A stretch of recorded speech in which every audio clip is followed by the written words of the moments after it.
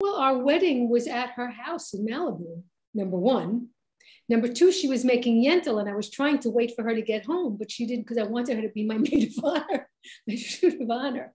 And um, she, both she and my brother, gave me my wedding because mm-hmm. Uh, I didn't have, you know, a father, and my brother walked me down the aisle, and I wanted my sister to very much be there. And we kept pushing it back, the date, hoping she would be back in LA, but that never happened.